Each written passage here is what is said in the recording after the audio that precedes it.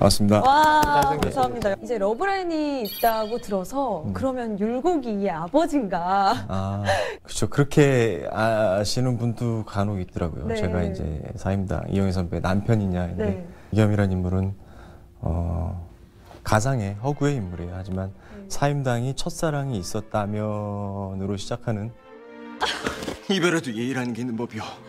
어찌 단 한마디 변명조차 없이 다른 이안 하게 해주단 말이오. 내 이름 겸이다. 이겸. 사임당입니다. 어린 시절 만나 사랑을 싹 틔웠지만 불의의 사건으로 생이별을 해야 했던 사임당과 이겸. 다시 만났을 때 두 사람은 이뤄질 수 없는 사이가 돼버렸습니다. 이렇게 그 수위 조절하는 게 쉽진 않았던 것 같아요. 아무래도 유부녀고 그 역할상에서 네. 사임당은 네. 사실 제가 손잡고 도망가거나 막 음. 그렇게 되면 부- 그 선이 있잖아요. 네. 불륜이잖아요. 이겸은 그래요. 저 아이들이 내 아이였어야 된다. 그 런저 대사도 집이 있어요. 내 집이었어. 어, 저긴 내가 있어야 되는데 이게 영감을 줬군요, 이 노래.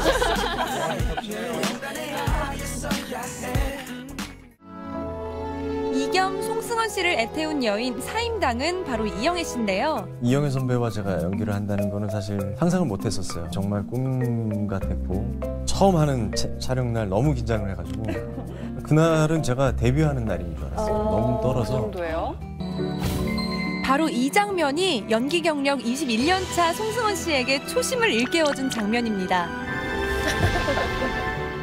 그렇다면 이영애 씨는 이날을 어떻게 기억할까요?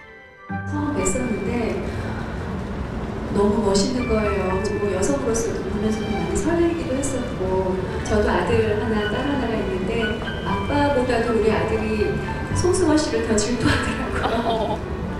이영애 씨도 인정한 치명적인 매력의 그는 극 중에서도 외모와 재능 모두 겸비한 조선 최고의 킹카인데요. 저는 뭐 못하는 게 없거든요. 드라마 보시면 네.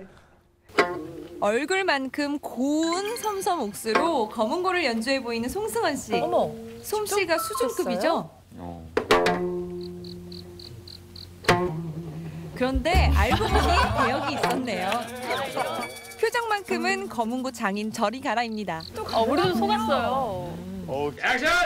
계속해서 이겸의 장기인 동양화를 선보이는 송승헌 씨. 이번엔 실력 발휘를 하나 했는데 야, 송승환 표 전화 뭐야?